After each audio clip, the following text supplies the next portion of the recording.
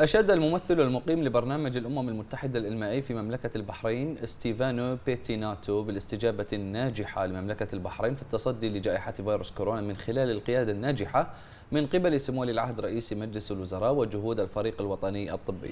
كما أشاد بالخطوات المهمة لمملكة البحرين في مجال الصحة خاصة ما يتعلق بالبنية التحتية للنظام الصحي وكفاءة الكادر الطبي والتغطية الشاملة للسكان. ونوه بيتيناتو في حوار صحفي إلى أن البحرين تولي اهتماما كبير بالتنمية البشرية وتتمتع بنظام تعليمي متين ضمن أهداف التنمية المستدامة حيث التعليم متاح لكل من يعيش في المملكة مؤكدا أن البحرينيين أكبر مصدر للثروة في المملكة. وقال أن البرنامج يتعاون مع مختلف الجهات البحرينية في مجالات الطاقة الطاقة المستدامة وتمكين الشباب وتنمية القدرات وتعزيز التنويع الاقتصادي.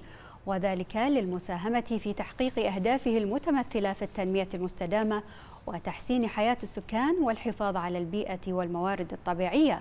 وأكد أن الطاقة المستدامة مجال واعد في البحرين يجعلها مصدرا عالميا للطاقة النظيفة معربا عن تمنياته للبحرين مزيدا من الازدهار كقائدة في التنمية المستدامة بالمنطقة وخارجها.